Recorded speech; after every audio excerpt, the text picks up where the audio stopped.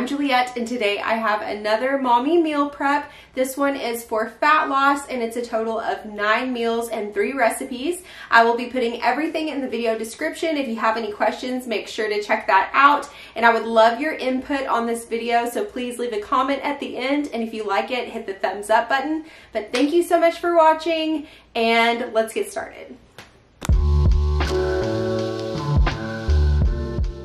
First, let's start off with our ingredients. I have one pound of lean ground beef, six eggs, two bell peppers, half of an onion, some avocado oil, chopped minced garlic, paprika,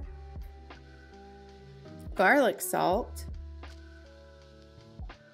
chili powder, pink Himalayan salt, or you could use regular salt, and black pepper. Now I'm going to heat my large pan over medium high heat. I'm going to be using this same pan for all of my recipes today. I'm also going to chop up my bell peppers. First, I'm just taking out all of the seeds, and then I'm going to use my handy dandy chopper, which is my absolute favorite. I'll be linking all of my favorite products from today's video in the video description, so be sure to check that out.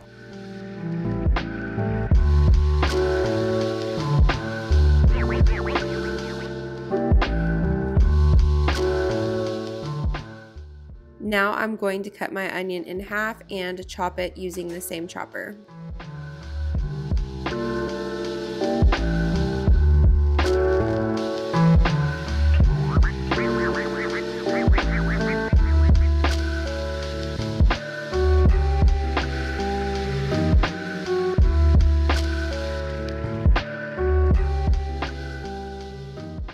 Now that my pan is nice and warmed up, I'm just going to put a little bit of avocado oil in there so I can saute up my veggies. So I'm just going to pour all of the veggies in there and saute them until they're a little bit more opaque or just not as vibrant.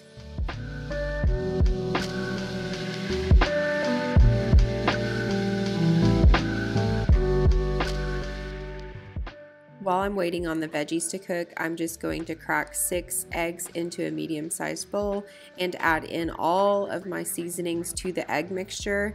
Um, I did not measure any of this, so if you would like a measurement, I would just go with half a tablespoon of each seasoning, and then I just mixed everything together so these eggs are ready to go once I'm ready to use them.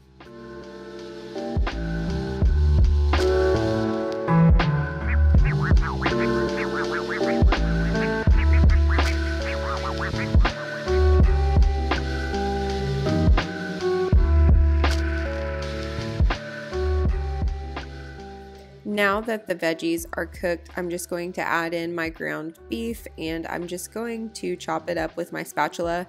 I have a meat chopper to cook with. I don't know why I didn't use it today, but I'm just chopping it up and I'm going to cook the meat until it's no longer pink and then I can add in my egg mixture. And here's Luxie. Of course, when I'm cooking, she is also cooking. I remembered that I never added in my garlic at the beginning when I was cooking the veggies up, so I just added it in here. It's two tablespoons of minced garlic. So I'm going to add that in and finish cooking up the meat until it's no longer pink, and then I'm going to add in my egg mixture. After adding in my egg mixture, I'm just going to stir it until all of the eggs are cooked and everything is combined thoroughly. And that is three days worth of breakfast and it is really yummy. I was surprised by this recipe, honestly, because I was like, this doesn't really seem like a breakfast food, but it is so filling and delicious. Next time I make this recipe, I'm going to double up on it and make Luxie some breakfast burritos and just add some cheese in and freeze them. I feel like that would be such a good mommy and me meal prep. So let me know if you try that because next time I make this, I'm going to. Next up, we have cauliflower fried rice with shrimp. So I have two bags of riced veggies, two bags of cooked shrimp, an extra small that's uh, deveined and no tail with some chili powder, garlic salt, some red hot stinging honey garlic. I think this made the recipe, honestly. And some paprika, ground ginger, and sesame seeds. And of course, a little bit of avocado oil. So let's go. I'm starting off with the same large pan and heating it up over medium high heat with a little bit of avocado oil and I'm dumping in both bags of the cauliflower veggie rice mixture.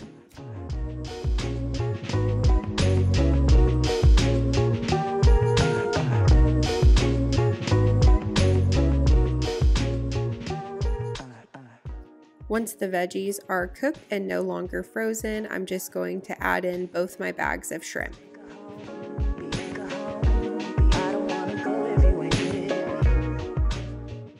Now I'm just going to mix the two together very well and then add in all of my seasonings. Again, I did not measure, but you can still go by the half tablespoon measurement to start out with and kind of go from there depending on what you like.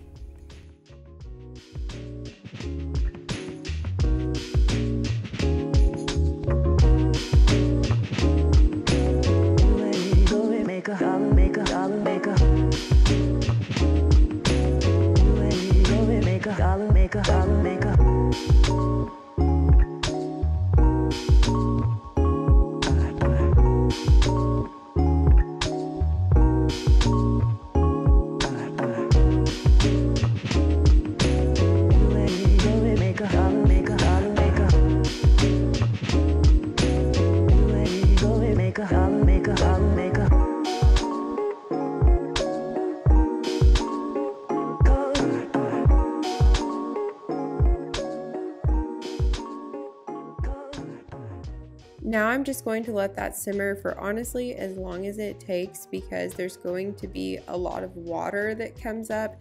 And I decided to add in another bag of just cauliflower rice because I wanted it to be uh, more volume. So I added that in there. And then as you can see it absorbed a lot of the liquid.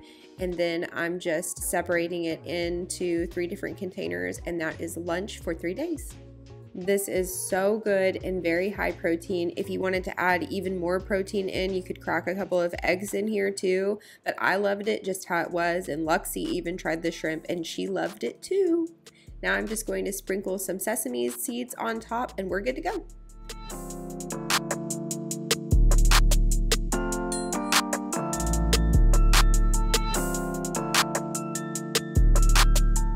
For dinner, we're having a very easy chicken stir fry. So let's get out all of our ingredients. Five boneless, skinless chicken breasts. This is my first time using it, but some microwavable jasmine rice. And next time I will just make my own because I don't like the ingredients in these bags. Anyways, um, a bag of frozen peppers and onion mix and some chili powder, some garlic powder, Lawry's seasoned salt, a little pat pat, some Frank's Red Hot Stingin' Honey Garlic, that is the star of the show, honestly, and some sugar free stir fry sauce.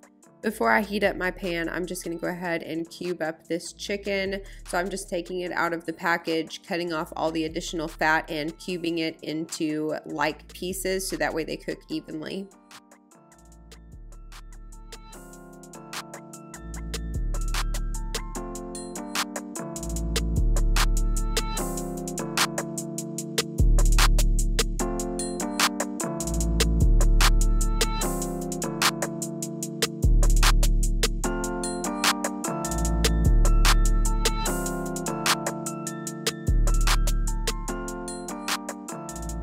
I'm going to heat my pan over medium high heat with a little bit of avocado oil and I'm going to cook up my chicken and season it all in the pan. Again, with the seasonings, I did not measure, but this is a lot of chicken, so I would start off with a tablespoon of each seasoning and work your way from there, um, depending on what you like. After you're done seasoning, make sure that you mix the chicken up thoroughly so that way the seasoning is evenly distributed amongst the chicken and then just cook it until it has reached an internal temperature of 165 degrees. I just use a little meat thermometer and I check different parts of the chicken on each side to make sure that it's all cooked. Now I'm just adding a little bit of extra avocado oil and I'm just gonna cook up that chicken.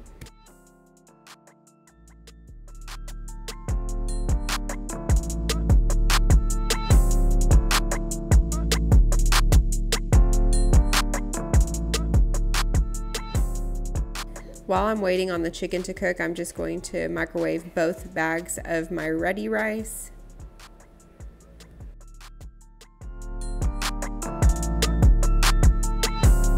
Now that the chicken is cooked, I'm just going to add in my frozen peppers and onion mix and mix it all up and let it cook together. Now I'm going to add in half a bottle of the stir fry sauce and I'm going to let that sit and simmer for a few minutes and then I'm just going to put that in three separate containers with the jasmine rice and there's dinner.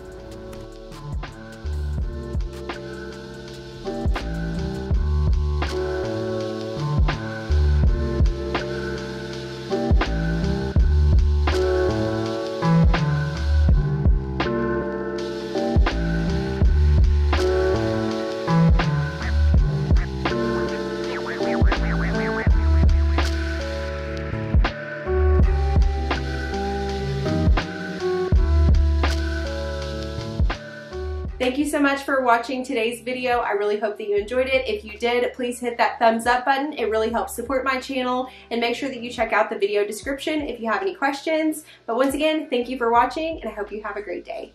Bye.